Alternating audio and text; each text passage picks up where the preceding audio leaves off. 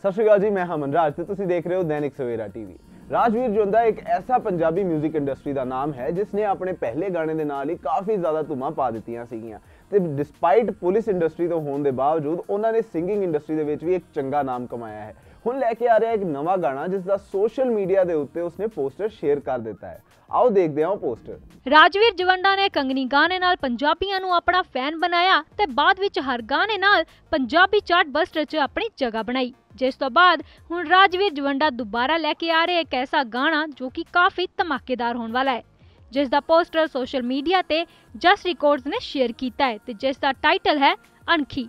ਇਸ ਗਾਣੇ ਨੂੰ 뮤직 ਦਿੱਤਾ ਹੈ ਦੇਸੀ ਕਰੂ ਨੇ ਤੇ ਲਿਰਿਕਸ ਲਿਖੇ ਹਨ ਗੁਰਜੰਟ ਜੈਂਟੀ ਨੇ ਤੇ ਵੀਡੀਓ ਕੀਤੀ ਹੈ ਗੈਰੀ ਦਿਓਲ ਨੇ। ਇਹ ਗਾਣਾ ਕਦੋਂ ਰਿਲੀਜ਼ ਹੋਏਗਾ, ਇਸ ਬਾਰੇ ਚ ਕੋਈ ਅਫੀਸ਼ੀਅਲ ਇਨਫੋਰਮੇਸ਼ਨ ਨਹੀਂ ਦਿੱਤੀ ਗਈ ਹੈ। ਬਸ ਕਮਿੰਗ ਸੂਨ ਹੀ ਦੱਸਿਆ ਗਿਆ ਹੈ।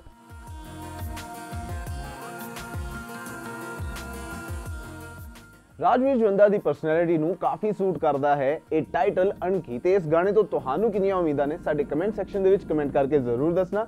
ਬਾਲੀਵੁੱਡ ਤੇ ਪਾਲੀਵੁੱਡ ਦੀਆਂ ਲੇਟੈਸਟ ਅਪਡੇਟਸ ਲਈ ਦੇਖਦੇ ਰਹੋ Dainik Savera TV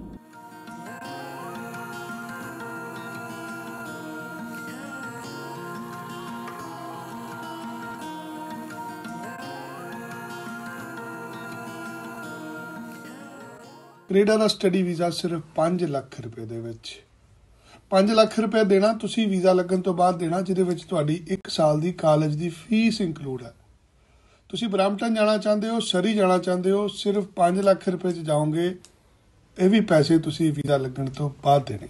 All world open challenge 17 time gold medalist Mian Rafiq Mohammad पंडित मौलवी बेगम तांत्रिक इन चोरा ठगा तो सावधान स्पेशलिस्ट वशीकरण सट्टा नंबर लव मैरिज पति पत्नी च अनबन विदेश च पक्का होना कारोबार दा ना चलना सिर्फ़ 31 ਘੰਟਿਆਂ ਵਿੱਚ ਸਮਾਧਾਨ free free free Mian Rafiq Mohammad mobile 8437494647 84374 94648